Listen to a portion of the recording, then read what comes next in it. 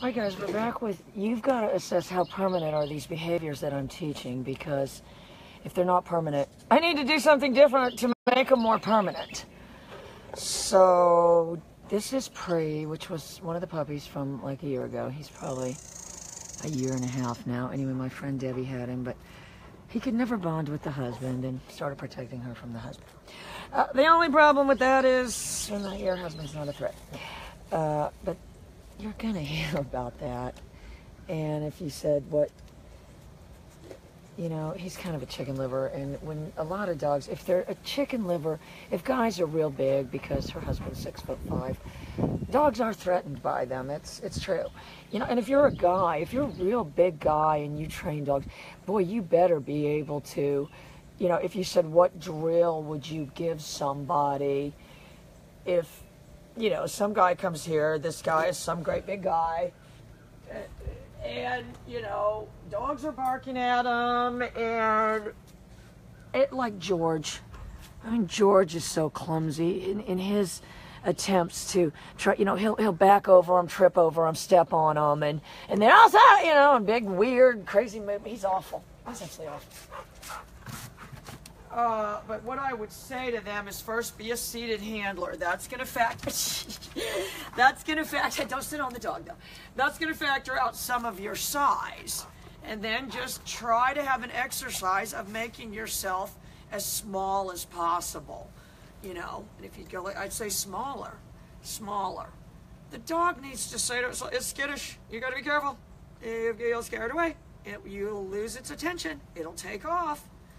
whatever they're saying, you're just reversing the dialogue. So this dog has a default down that won't go away, and he did it with her. She would take him to work and everything. It was just when they got home, he didn't like the husband, which you know. I just told her to bring him back, and, and Joel already said, Joel's 87. If anything happens, I'm just gonna hang on to the dog for now, and then Debbie can get him back. Because there is a place for dogs that don't like strange men. Not that Joel's strange, but, you know. And Debbie was, she goes, oh, this is what Debbie said. If you have any single girlfriends that, and then she's like kind of pause, I go, that hate men. you know, so I've got some permanence of the behavior.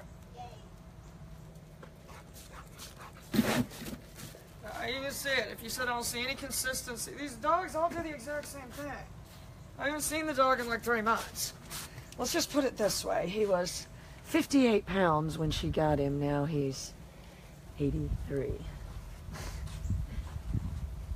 you know, and then if you said, well, what happened? Well, I don't want Debbie freaking out, but what happens is people do start kind of overfeeding them the food, and then they sort of aren't doing the treats as much, and then you know things start sort of tipping. Again, I understand because they have lives to lead; they don't have all day to give dogs treats like I do, but. Uh, that's what kind of starts happening. And then, you know, if anyone ever says it's a picky Labrador, I say there's no such thing.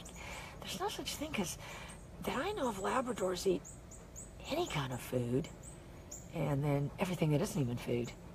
So there's no such thing as picky Labrador. you know, there's such a thing as an overfed Labrador that just cannot honestly even eat anymore. You know, there is such a thing as that. But picky? No. They eat everything that's food, any kind of dog food, and any kind of other animal food, and any kind of poop. Though I have to admit, my shepherds are the poop eaters around here. All right, so this dog had a default down. Whoops. It had a basket drill. If I sit down, it should go over.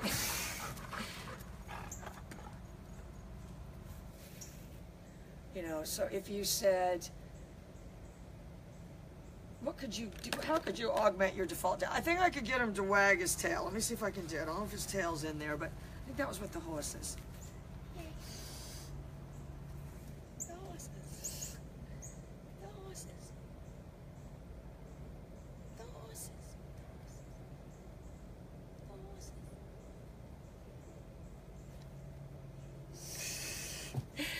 Did it. He did it. You've got to be able to get that. If you said, what's, I understand that now, Mike. The tail wag is the micro task. Microtask includes any separate part of the body acting of its own accord. the horses, the horses, the horses, the horses. That was from that uh, pit bull. I had that pit bull, and I talked to Wagons Tail when I said the horses, because it liked to jump. You know, if you said, what do pit bulls like to do? Angus, uh, his are pretty good. He's not too bad, but their, their pit bulls can jump really good. They can defy gravity. So I told that pit bull, he was like those horses that used to jump. So what I've got is a dog, I think that will do the basket drill. If you said, how could you help yourself? Just do it.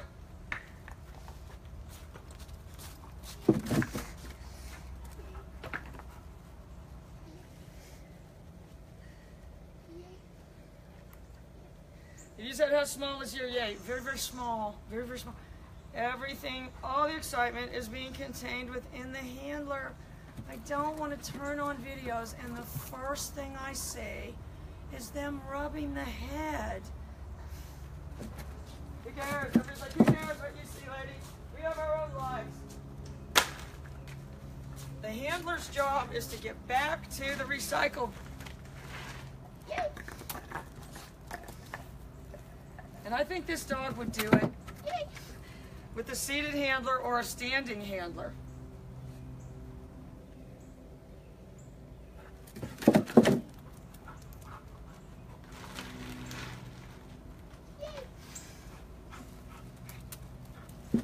He said, when did you hit the pager? When I turned my back, in conjunction with, it had the same look.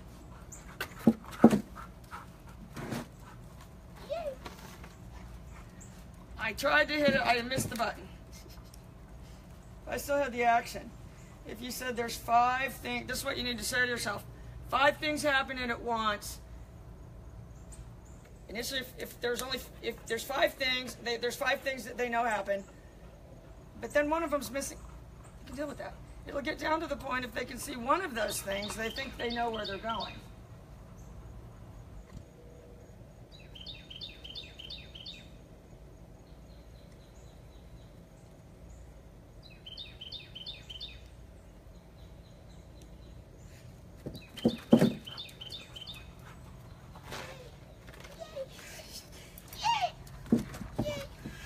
Oh, he's a wonder. He's a wonder. He's an absolute wonder. Again, there was nothing happening a second ago. He wasn't any kind of wonder. He was nothing. He didn't exist.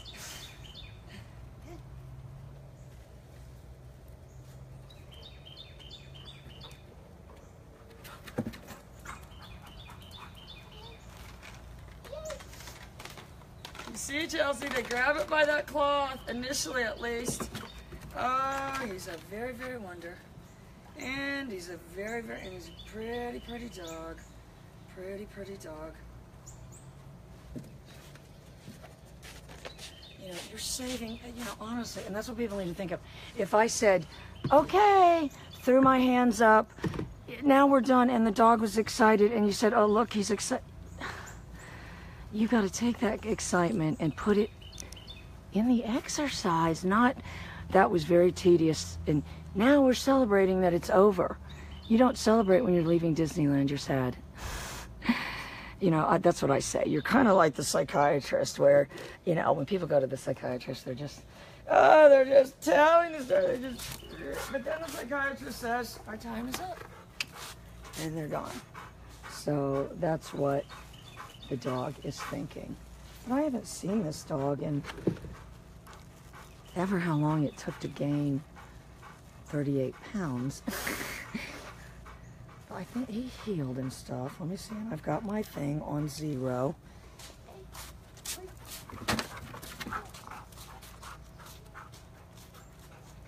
There's my turn. This hand. Here's my pager. And you turn this way. He went back.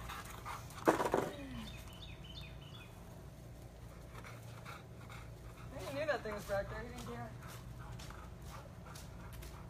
There's my turn. Look at the head is perfect. There's my turn. So all these behaviors are permanent in this dog, you guys.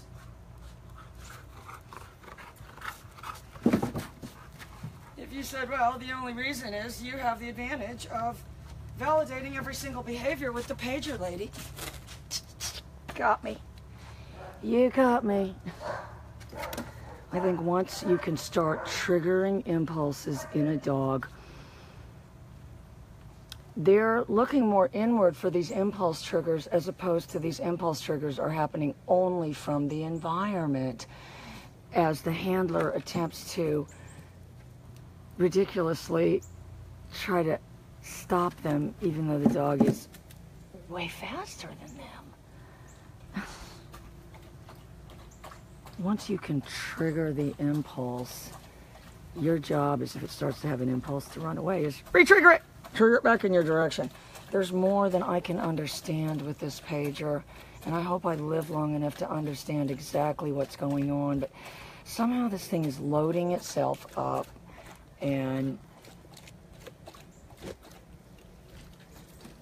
telling the dog's body they like to react to impulses. If you said based on what, on, on the ones that chase squirrels and fish and act on every impulse of every butterfly, and their name is Shoe Bottom. All right, hang on. So keep in mind, I have not seen this dog, but I'm just right back where I was with the pager. And I'm saying to myself, obviously everything I taught it has a permanence. That's what you need to say to yourself. I'm going to be the handler that sits down and the dog is this is an intellectual dog on a lot of levels and if you said can it ever like men? Probably not. Um, and especially dogs that are that don't that are threatened. And there's such a thing as now I tell people with Great Danes and Mastiffs too there's dogs that are threatened by very large dogs too just the the size of it is a threat. You know, so it there's, it's just, they do. That's why the handler should try to make themselves small, as small as possible, as small as a ball. I've decided we need to come up with a very simplistic child's book. I've, I've decided we need to hit them at six years old. If we can get them at six, by the time they're 15, they'll have this master. But that's a very permanent behavior. The dog does not know. And I get him back up there with the pager. And I can make him heel with the pager. Under the umbrella of move in my direction. Hey. There's my turn. Boom. That was my pager. Turn.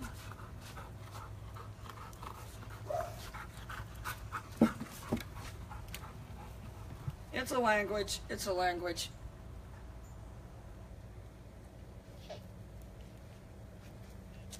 You know, if you're just, that's where people are going wrong. I think that's why you shouldn't use words at first. If you said you can't add words to this dog in training,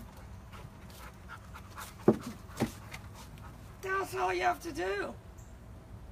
Make the word the precursor for everything else everything else. And if you said, well, then why do you do the pager concurrent? No, that's how fast their reflexes are. That's how fast their reflexes are. Anyway, guys, I'll be right back with a couple more episodes, but that's how you're thinking of the pager. You're not saying,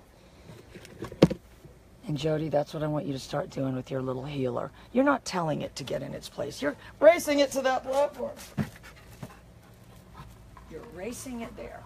Once you're making them stay, dogs have forward momentum, and they're always directing it in a direction. If you're trying to hold it there, it's just basically a dam that's going to break. As if you can fool them into thinking, race me there.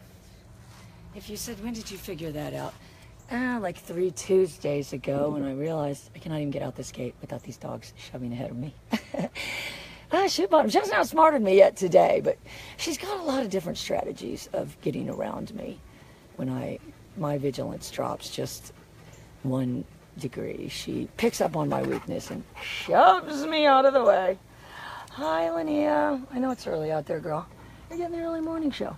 I, I'm going to come back with another good episode, but You know, all I'm doing, everything I'm doing, and this is the new 200. That's just Chewy's. I'm just going to drop ship her a new one. But for you guys, that's that's a good collar. For It only goes up to 100, but for a starter collar, it's a good collar. If you said, what doesn't it have 127? If you said, what does a uh, journeyman e-collar trainer need? Probably not 127. If, if, if you need that, you're in over your head.